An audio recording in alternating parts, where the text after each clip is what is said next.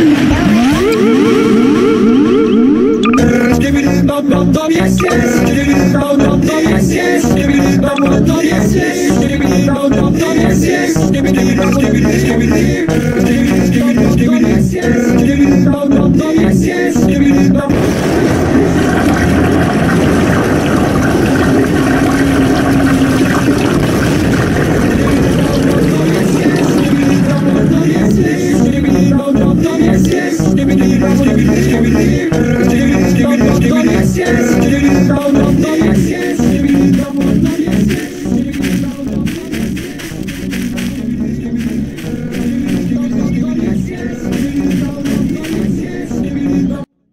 Okay guys, thanks for watching and don't forget to subscribe.